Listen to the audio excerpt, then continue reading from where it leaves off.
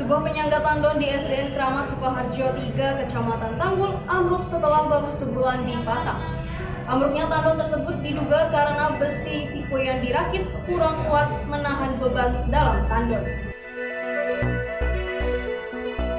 Warga Dusun Selandia, Desa Keramat Sukoharjo, Kecamatan Tanggul mendadak gempar akibat suara gemuruh yang warga dengar. Awalnya warga mengira bahwa gedung SD tersebut ambruk, namun ternyata tandon air yang berada di SDN Keramat Sukoharjo 3 yang ambruk setelah sebulan dipasang. Ambruknya tandon air tempat cuci tangan untuk COVID-19 terdengar hingga ke rumah warga yang tidak jauh dari sekolah. Bukari, salah seorang penjaga sekolah yang dikabari warga langsung mengecek ke tempat kejadian. Ia menemukan tandon yang dipasang di atas penyangga dari besi itu sudah hancur di atas tanah. Beruntung ambruknya penyangga tandon air berkapasitas 2.200 liter itu tidak sampai menimbulkan korban jiwa. Karena saat kejadian di sekolah tidak ada kegiatan belajar mengajar karena pandemi COVID-19.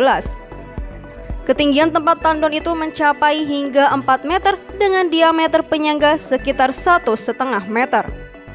Ambruknya tandon itu karena besi siku yang dirakit kurang kuat menahan beban air dalam tandon.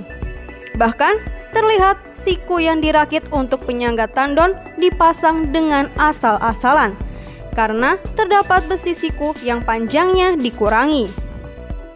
Demikian juga antara siku ke siku, besi yang dirakit juga dilas asal-asalan.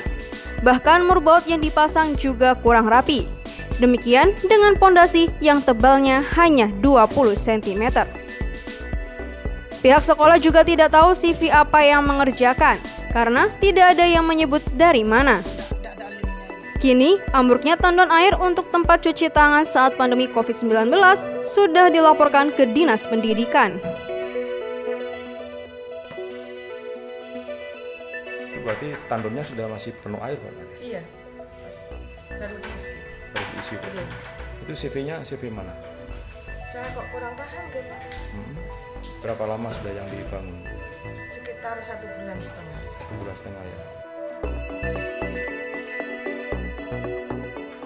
Iya, sama orang-orang sini dikira sekolah anu sekolah nomor setelah dilihat oh, airnya kok sudah masuk sana. Waktu pa- paginya saya mau ke sini, kan tiap hari saya ke sini. Waktu pulang, sebentar itu sudah di rumah, jam setengah sebelah kok ada orang sana. Pak, anu tandonnya ambruk. Saya langsung ke sini lagi.